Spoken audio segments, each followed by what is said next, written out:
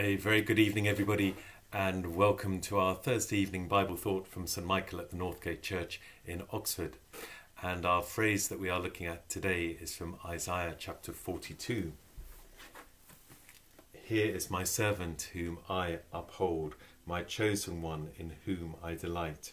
I will put my spirit on him, he will bring justice to the nations. He will not shout or cry out or raise his voice in the streets. A bruised reed he will not break, and a smouldering wick he will not snuff out. In faithfulness he will bring forth justice. He will not falter or be discouraged till he establishes justice on earth. In his teaching, the islands will put their hope. Perhaps it wasn't a phrase that made people look up startled and shocked and surprised.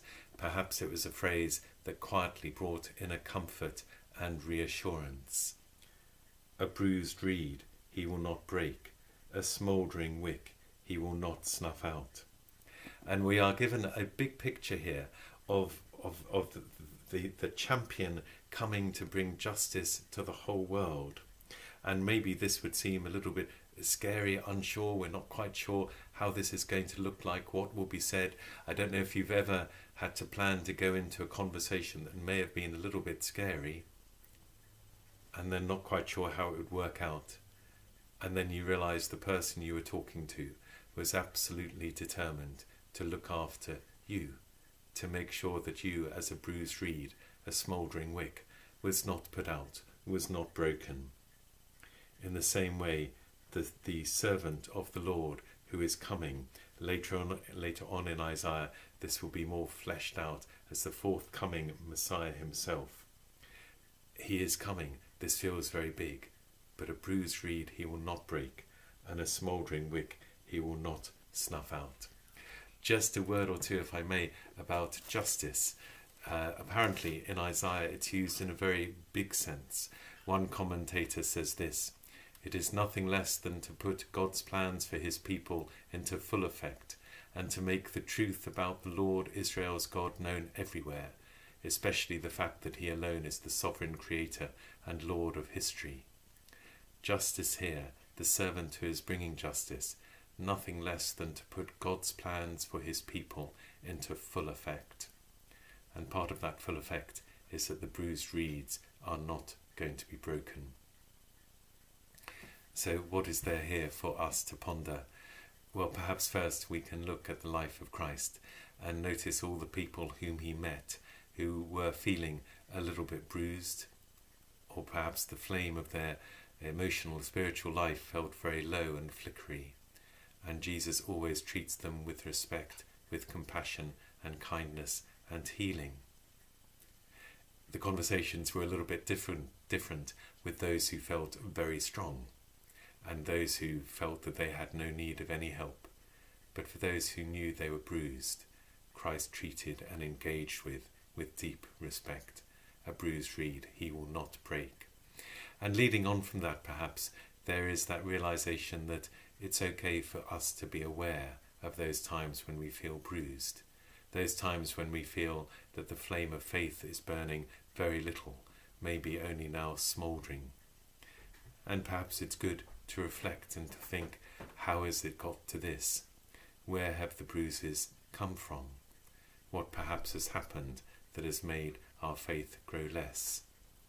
So we reflect on this so we can know that we are indeed bruised and in need of help, and confident that a bruised reed he will not break. We may remember the words of Christ in Matthew 11 Come to me, all you who are weary and burdened, and I will give you rest.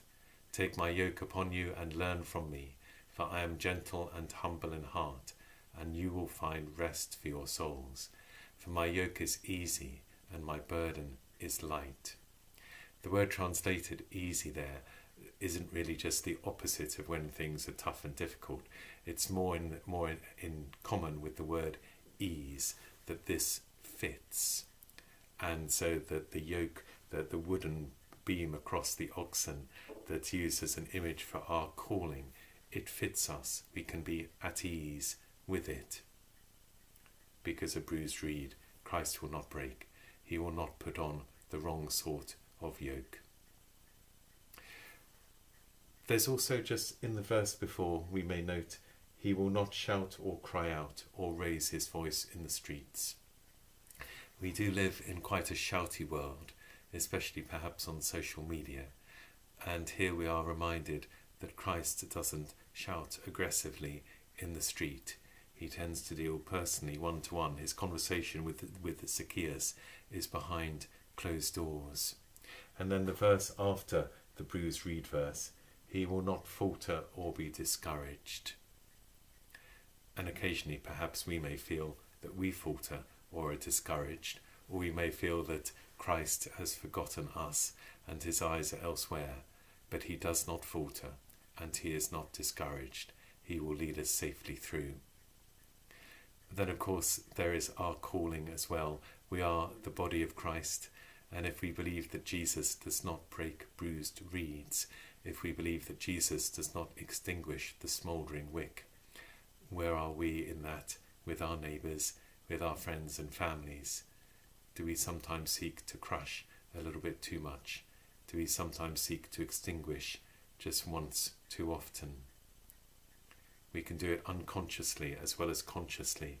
There's quite a big challenge here.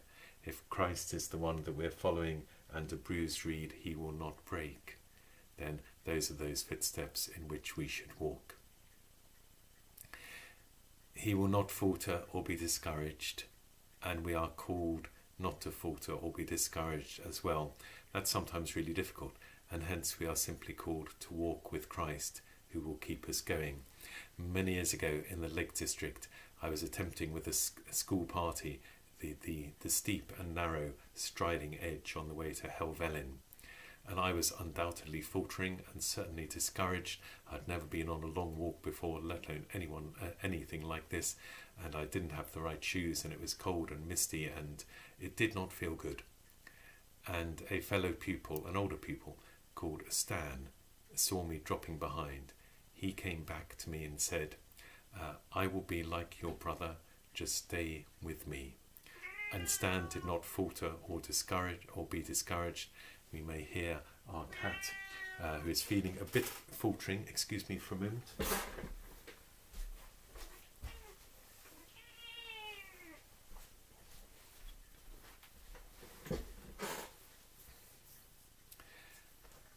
Stan did not falter and he was not, not discouraged. Jesus did not falter and was not discouraged. And he seeks to walk with us, and in walking with him, we can make it through always assured of that wonderful, quiet promise that a bruised reed he will not break, and a smouldering wick he will not snuff out. May we be people of hope and assurance this day, and may God bless us to share that with others. Amen. Thank you so much for listening.